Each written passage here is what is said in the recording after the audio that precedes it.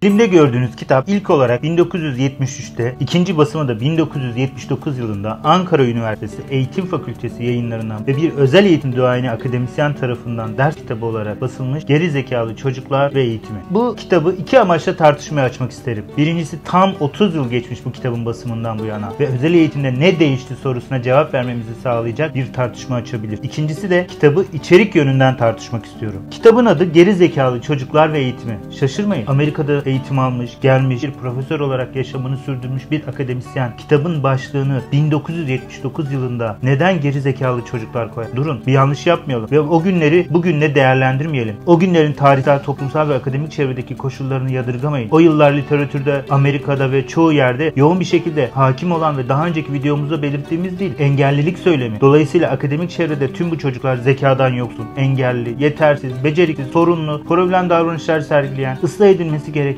eğitim ortamına uyum sağlaması için özel eğitim alması gereken çocuklar olarak görülüyor ki hala öyle gören bir sürü insan var. Neyse bunu geçelim. Kıdemindeki bu kitap ki o zaman Türkiye'deki belki de tek özel eğitim bölümü olan sayılı en büyük üniversitelerden birinde Ankara Üniversitesi çevresinde çok ciddi değişimler getiriyor. Konuyu tartışmaya açıyor ve bu çocukların da eğitilebileceği yönünde bir yaklaşım sunuyor. Şimdiki dirençleri düşünün. Bir de o yıllardakini. Don Quixote gibi bir adam olarak görmek gerekir belki de Doğan Çağlar'ı. Tabi eğitimci kişiliğini bilmiyoruz. Bilenler onun öğrencileri lütfen bunları paylaşın. Ama bize göre ciddi dirençleri kıran bir yaklaşımın ürünü olduğunu varsayıyoruz bu kitabı. Zaten kitabında belirtmiş. Oldukça insani ve milli bir görevin gereği gibi ele alınmasında ufak bir katkıda bulunmak istedim diyerek mütevazi bir yaklaşım sunmuş. Biz kendi adımıza hocamıza teşekkür ediyoruz. Çok sınırlı bir çevrede neredeyse kitabı bile olmayan bir alanda sınırlı eğitim terapi kişi ve kurumların olduğunu bir daktiloyla 640 sayfa olacak şekilde basıldığını düşününce kitabın varlık nedenini adı böyle olmasına rağmen önemli diye düşünüyoruz. Soru şu. Yine de bu kitabın adını ne yapacağız? Adının böyle konulduğu bir kitap o yılların düşünce hayatında nelerin etkili olduğunu gösterir mi? Yazarı ve kitabı adını böyle konulduğu için yok mu sayacağız? Bize göre şimdiki akademik çevreden kitapların adını gördükçe değişimin kendisini görmek mümkün. Algı değişiyor. Algı değiştikçe değişim ve dönüşüm gerçekleşiyor. Değişim sancılıdır. Tam 30 yıl adındaki mücadele hala insanların zihninde devam ediyor. Olsun. Bir 30 yıl sonra sanırız her şey daha iyi olacak. Şöyle düşünelim. Bugün yaklaşık 206 üniversitenin 40'ında özel eğitim öğretmenliği bölümü var.